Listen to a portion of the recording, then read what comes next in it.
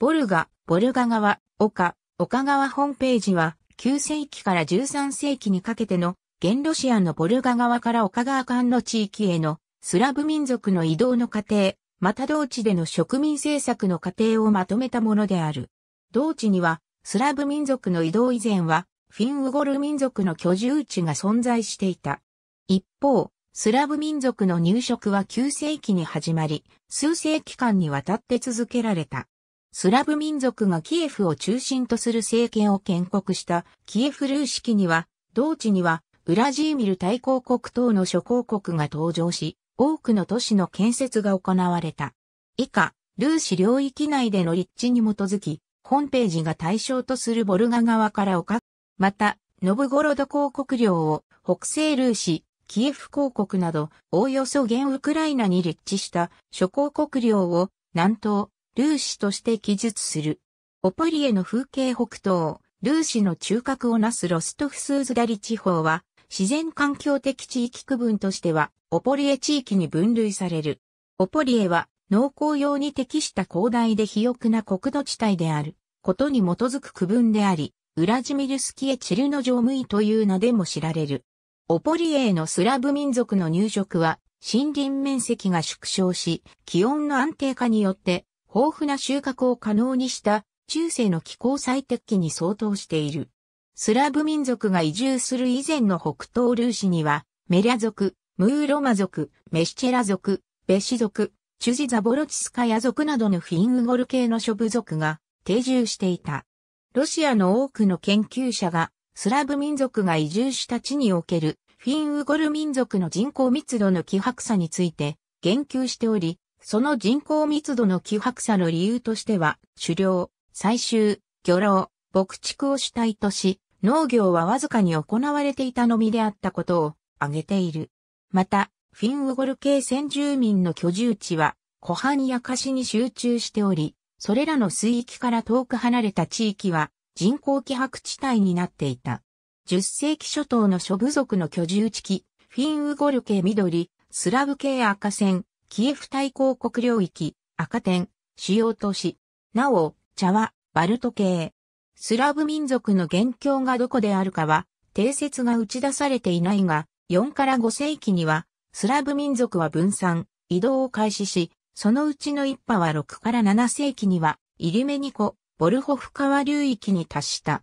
ルーシ全域のスラブ民族は、原初年代期等の文献的資料や考古学的検証に基づき、いくつかの部族として分類がなされている。スラブ民族の移動の速度は、森林を伐採し、農耕地を獲得しながら進んでいく緩慢なものであったが、北東ルーシへ移住してきたスラブ民族の植民は、多数かつ積極的に行われていたことが確認されている。考古学的調査に基づけば、村集落の跡地は原則的に丸太を用いて建造した定住式の多くの家屋と高地からなっており、また、製鉄場を有し、鉄や非鉄金属などから生活用品や装飾品が作られていた。北東ルーシーへの移住はいくつかの段階を経ている。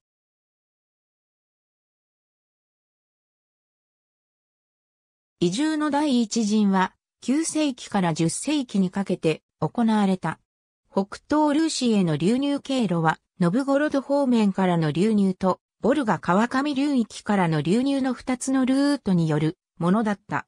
すなわち、北東、ルーシの東と北では、ボルガ川沿いにクリビチ族が進出し始めており、このクリビチ族が北東ルーシへ流入し、スーズダリの居住者の基礎的な部族となった。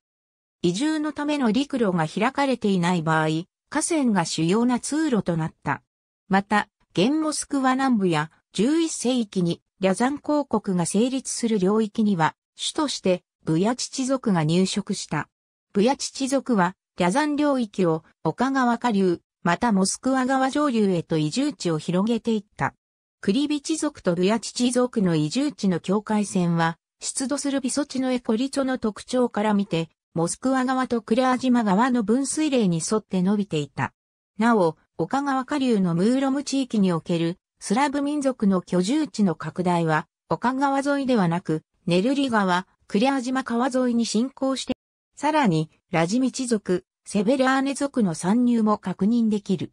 考古学的調査によれば、北東ルーシでは、10世紀後半以降において、都市のみならず村集落の数と規模に特徴が見出される。すなわち、北東、ルーシのスーズダリ地方と、北西、ルーシのベロエコとシェクスナ川周辺での考古学的調査を比較すると、スーズダリ地方では約2000人規模の非常に高密度な居住地がこの期間の大半にわたって出現していた。一方、ベロエコ周辺では居住地の密度は低く、12から13世紀に密度の高まる兆しが見られる。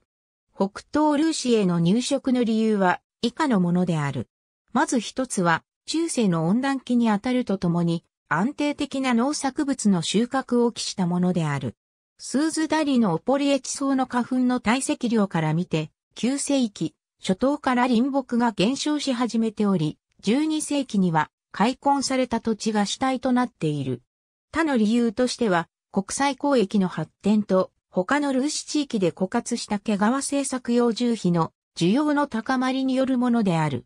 村集落跡地からは、ビーバー、リス、イタチなどの毛皮を持つ動物の骨格が発見されているが、そのうちの62%は切断などの形跡のない完全な形で出土している。また、10世紀末のルーシの洗礼以降は、キリスト教政権から逃れ、異教信仰を守ろうとする人々の移住が行われた。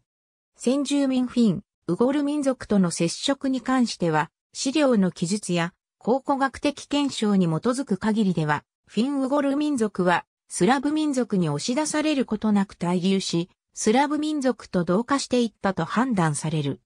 北東ルーシにおいては、フィンウゴル民族の居住地の立地と、その人口の希薄さという条件によって、武力制圧を伴わない平和的な植民化が行われ、またかなりの速度で、スラブ的要素が数的にも優位に立ったということができる。ロストフスーズダリ地方の最北端のいくつかの地点での考古学的調査からも、集落遺跡やクルガンの埋葬形態において、フィン系の伝統的な様式が減少していく過程が確認されている。文献資料の面からも、10世紀中盤以降、フィンウゴル民族のメリア族、ムーロマ族、ベシ族は年代記上に研究されなくなることから、おそらくスラブ民族との同化が完了したものと考えられる。劉陸長によるキエフ対抗国成立の後もキエフ対抗国領内部での人口移動が行われ、北東ルーシは人口の流入する地域であった。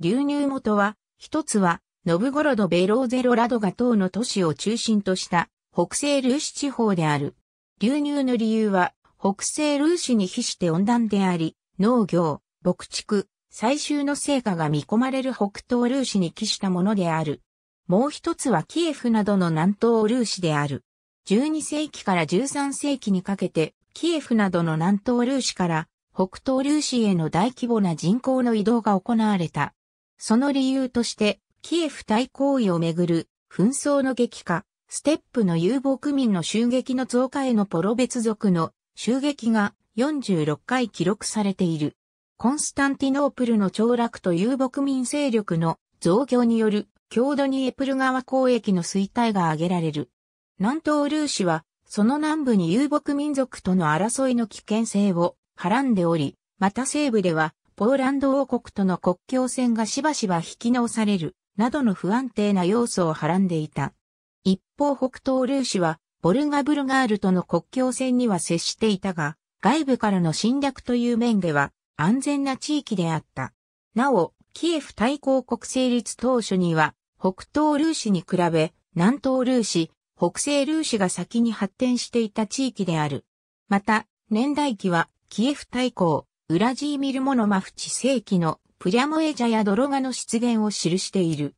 この道は、北東ルーシからブリャンスク森を横切り、キエフ地域へ至る道であり、それ以前から存在していた、連水陸路を含むドニエプル川、ボルガ川沿いの道に比べ、南東、ルーシのキエフ地域と北東、ルーシのウラジーミルスーズダリ地方との直接な交流を大幅に促進した。この人口移動は北東ルーシにおいて防衛施設と軍隊を持つ都市の建設につながった。植民を奨励し、新しい都市の建設に積極的に取り組んだ為政者の一人として、ウラジーミル・モノマフの息子のロストフ・スーズダリ公、ユーリー・ドルゴルーキーが挙げられる。ユーリーのこのウラジーミル大公、アンドレイ・ボゴリブスキーもまた、その植民政策によって、賞賛を得ている。北東、ルーシの諸都市の諸出モンゴルのルーシ侵攻以前に、資料上に言及のある北東、ルーシの都市には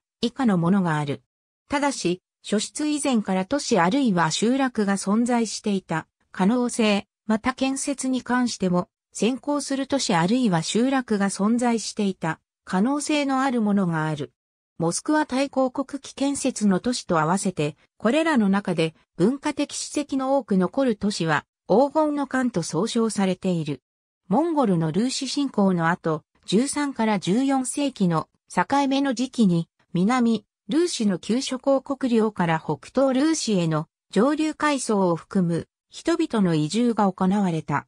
この時期に北東ルーシへ移住した貴族の家系としては、プレッシェフ家、イグナチエフ家、ジェレブツォフ家、ビャトフ家などが挙げられる。また、1299年には、キエフの不死教であるマクシモスが、キエフからウラジーミルへと移り住んだが、それはおそらく、北東、ルーシの後輩は南ルーシに比して相対的に小規模であり、南部より早く復興が行われたためではないかとする説がある。以降、北東、ルーシの地ではモスクワ大公国が交流し、ロシアツアーリ国、ロシア帝国へと変遷していくことになる。ありがとうございます。